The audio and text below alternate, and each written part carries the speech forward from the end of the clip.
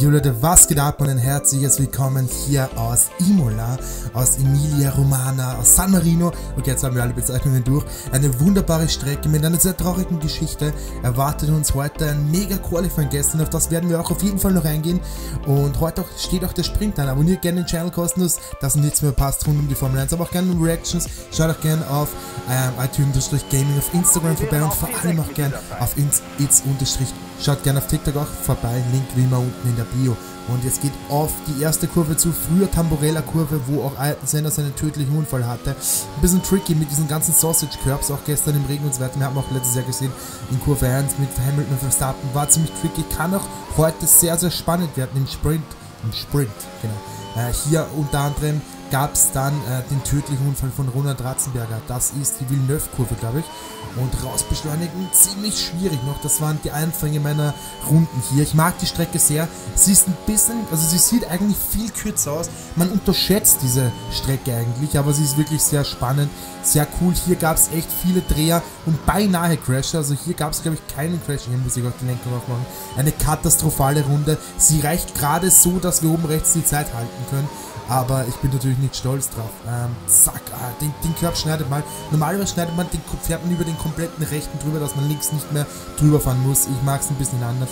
Ähm, Im Rennen wird das natürlich morgen äh, ganz ausgeglichen sein. Die Hotlap wird auch morgen kommen, das Rennen vermutlich morgen, wenn nicht, es Montag und natürlich auch ein Review bzw. ein Recap zu diesem Wochenende. Ich bin also zu dem Rennen am Sonntag. Ich bin auch schon sehr gespannt, wie der, wie der Sprint morgen ausgehen wird. Es hat gereicht für den dritten Platz, aber mit 1,2 Sekunden Rückstand. Also das bedeutet Leclerc und ähm, Albon, keine Ahnung wer da unten ist, die sind alle noch nicht richtig gefahren. Wir kommen mal zum Recap vom gestrigen ähm, ja, mega Qualifying. Es gab fünf rote Flaggen. Wir beginnen hier mal am Anfang, war noch alles sehr schön trocken. Dann gleich mal in Q1 eine Explosion an Albon. Also den hat es die komplette Bremse hinten rechts zerrissen.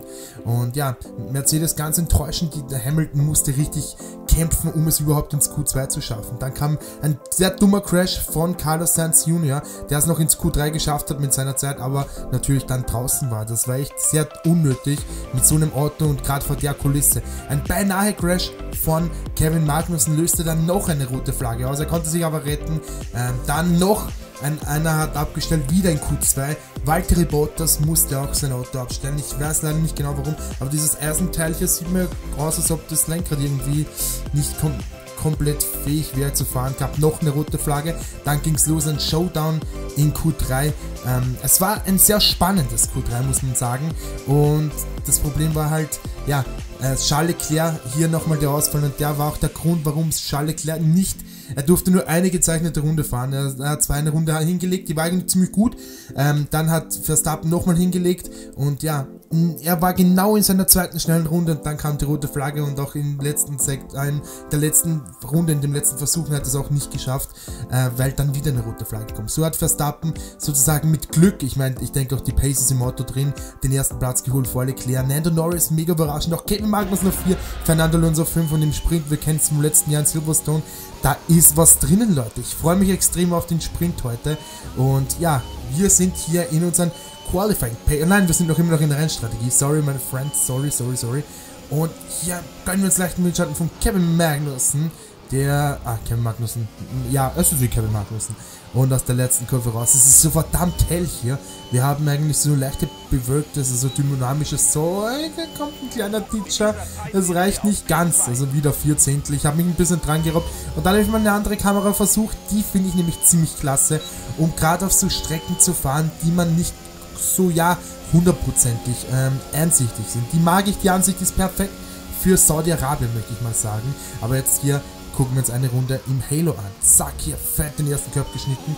Aber das geht noch so. Also wenn man dann wirklich schafft, dass dieser Sausage Cup genau zwischen den Reifen ist, dann äh, sitzt man noch nicht auf. Soll und trotzdem ein bisschen noch, ähm, bisschen Spiel nach oben und hier gewinnen wir noch immer noch keine Zeit. Es gibt rot im ersten Sektor, aber minimal. 20.000 waren wir langsamer. Hier beim Rausbeschleunigen haben wir schon mal zwei Zehntel gut gemacht. Da, da kannst du auch viel besser die Linie sehen. Mich ärgert, äh, mich, mich nervt ein bisschen diese Stange in der Mitte, muss ich echt zugeben. Naja, da waren wir ein bisschen zurückhaltend. Trotzdem auch wieder hier ein paar Zehntel. Also meine erste Runde auf Rot, äh, by the way. Und oh, weit drüber gekommen. Trotzdem schaffe ich hier noch irgendwie den Scheitelpunkt halbwegs zu treffen. Und wir haben sieben Zehntel im Delta, Purple im zweiten Sektor und wo, oh, okay, das war ein bisschen zu viel. Ich bin jetzt mal so ähnlich gefahren wie die Formel 1 Fahrer gestern und da gab es nie Track Limits, also äh, ja, das Game ist noch nicht natürlich so rausgereift. Äh, es gab auch schon die ersten Informationen zu F1 22, da werde ich auch im Laufe der Woche ein paar Videos machen. Ich muss mir jetzt auch mal angucken, was da alles so rauskommt oder was alles Neues. Ich habe irgendwas von dem dativen Modus und so weiter gehört. Ähm, es soll jetzt auch irgendein Live geben, so eine Art Fortnite-Spind und das war eine mega schnellste Rennrunde. Acht Zehntel, aber wir dürfen natürlich nicht vergessen, Hamilton und Bottas auf Gelb unterwegs. Also da ist noch immer noch Zeit drinnen. Jetzt sind wir also im Qualifying. Emilia Romana. Und ja, das Qualifying zum großen Preis von Imola. Ich mag die Strecke, wie gesagt, das ist immer wieder tricky. Sebastian Vettel war gestern auch in Höchstform glaube, der hat sogar in die Top 10 geschafft, oder?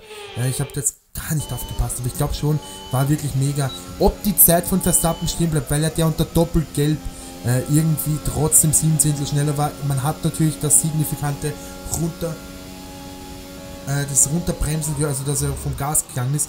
Ob das genug war und was seine Verbesserung und so weiter, hat er genau äh, bei dieser Doppelgelbphase wie Bottas ähm, da rausgeflogen ist, seine schnellste Rennrunde geholt bin sehr gespannt mal. Wir sind mit Rot unterwegs, das ist unser erstes Coup. Und jetzt geht's über die Linie, schön im Windschatten, eine 1.17.2. Das ist nicht schnell, aber es sollte eigentlich zeitgleich. Guckt euch das mal an.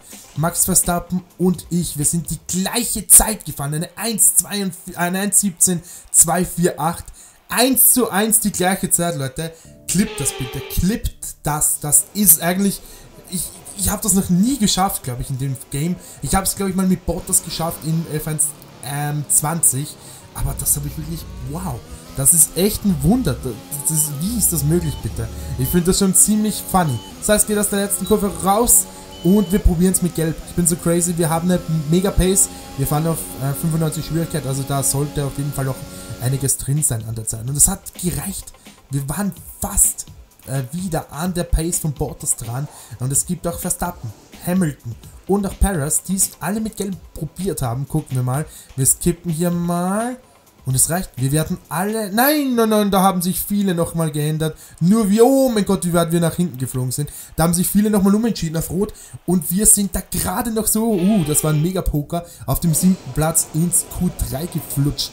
Okay, das war jetzt komisch, aber äh, okay, ja. Aber trotzdem, es wird cool und es wird knapp und close, Leute. Ähm, es war echt schon knapp, die ersten zwei Versuche mit, äh, mit Bottas und Verstappen. Und jetzt gehen wir mit einem angefahrenen Satzreifen und dann nochmal mit einem frischen Satzreifen auf die Poljagd. Ich hoffe, wir können da was rausholen, aber ja, ich denke mir nicht, dass da so viel Pace drin steckt. Ich habe wieder auf die, Sicht geändert. Äh, das ist so die Standardsicht, da habe ich auch umgebaut, dass man auch links cool die Strecke sieht, ein bisschen vergrößert für euch. Und auch oben links, dass man da alles cool einblenden kann. Oben rechts habe ich noch immer noch keine richtig gute Lösung gefunden. Oh, sehr sauber durchgekommen hier. Äh, trotz der, glaube ich, 3% haben die Reifen. Ich bin da wirklich nur eine Runde damit gefahren.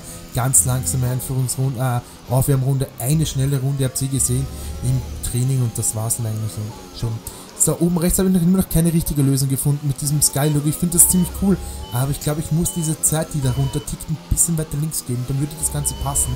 Vielleicht, uh, da kommen wir weit raus. Ach, das war gar nicht gut. Es reicht trotzdem irgendwie für eine 1.17.7. Ja, das ist nicht aussagekräftig.